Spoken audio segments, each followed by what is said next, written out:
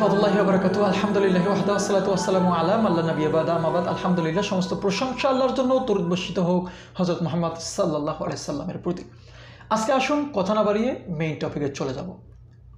টপিকটি হচ্ছে জেনারেলদের জন্য। একবারে খাস নির্দিষ্টভাবে ডেফিনেটলি এটা হচ্ছে একমাত্র যারা জেনারেলে পড়ে, তাদের জন্য এই দিক দিক নির্দেশনা হবে। তবে মাদ্রাসারাও এর থেকে জ্ঞান অর্জন করতে পারবে বলে আমি আশাবাদী।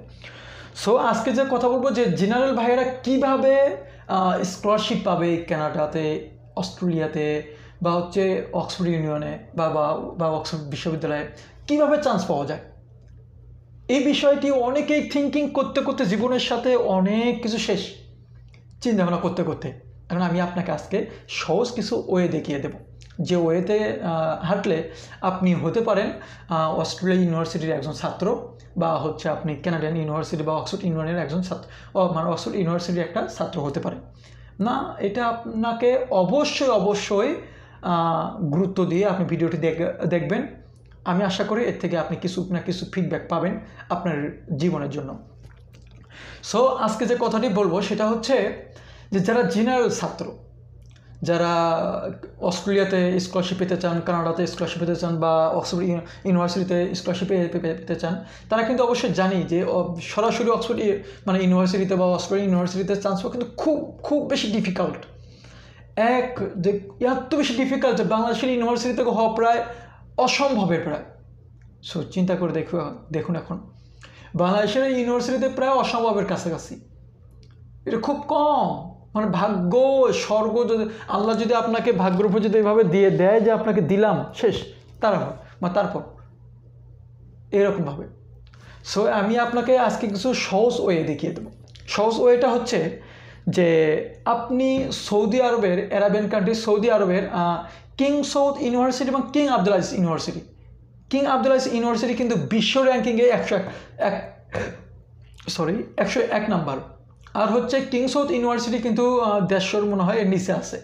তা চিন্তা করে দেখুন যে ইন্টারন্যাশনাল পর্যায়ে এই দুইটা ইউনিভার্সিটি কতটুকু কত এগিয়ে আছে।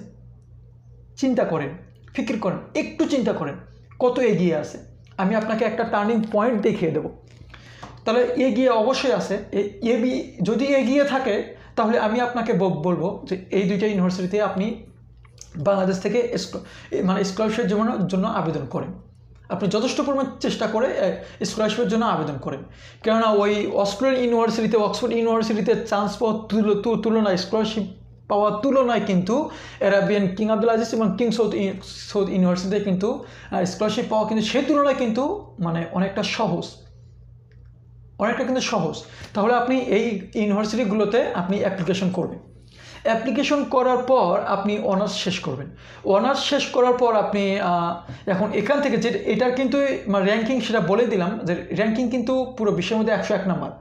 তো একশো এক নাম্বার র্যাঙ্কিং যদি হয়ে থাকে, তাহলে আপনি এই সার্টিফিকেট দিয়ে এখন অস্ট্রেলিয়া, কানাডা অক্সফোর্ড ইউনিয়নে আপনি আবেদন করেন। দেখবেন আপনার তখন মাস্টার্সের জন্য বা হচ্ছে আপনার হায়ার এড বা হচ্ছে আপনার পিএইচডির জন্য কিন্তু তখন খুব বেশি একটা সহজ হয়ে যাচ্ছে আপনার ওই দেশগুলোতে যাওয়া। বা ওই দেশগুলোতে আপনার পড়াশোনা করা। কারণ আপনি কিন্তু অলরেডি অ্যারাবিয়ান কান্ট্রিতে চান্স পেয়েছেন মানে কি? আপনার অলরেডি কিন্তু আপনি ইন্টারন্যাশনাল ইউনিভার্সিটি মানে ইন্টারন্যাশনালভাবে একটা স্টুডেন্ট কিন্তু আপনি হয়ে গেছেন। জাস্ট এক ধাপ কিন্তু এগিয়ে আছেন এখন আপনি। বাংলাদেশের ওই যে বাংলাদেশের ইউনিভার্সিটির মতো কিন্তু আর আপনি না।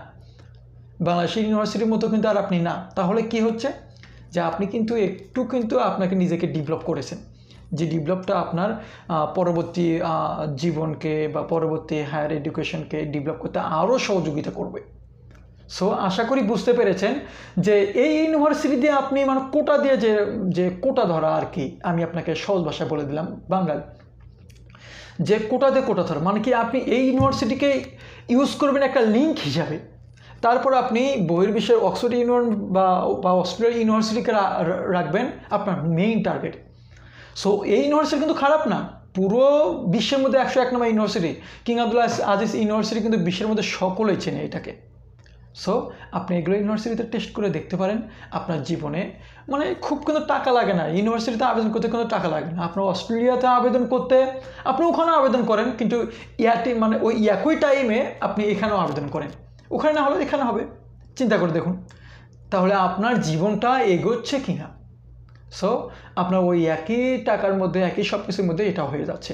সো আমি আপনাকে বলব, চিন্তা করুন, ভেবে দেখুন আমার কতটুকু, আমার কথা যে কতটুকু আপনার জন্য প্রয়োজ্য বা কতটুকু আপনার জীবন ইন্সপায়ার হওয়ার জন্য বা হচ্ছে ডেভেলপ হওয়ার জন্য কতটুকু গ্রহণযোগ্যতা পেতে পারে। সো আমি আপনাকে একটা ক্লু দিলাম, চিন্তাভাবনা আপনার, আপনি নিজের সাথে মানে মানে চিন্তা ভাবনা করুন, নিজের সাথে ফিকির করুন। যদি ভিডিওটি ভালো লেগে থাকে, আমার জন্য অবশ্যই অবশ্যই আল্লাহর কাছে দোয়া করবেন। আল্লাহ তালা আপনাকে সুস্থ রাখুক ভালো রাখুক। আসসালামু আলাইকুম ও রহমতুল্লাহি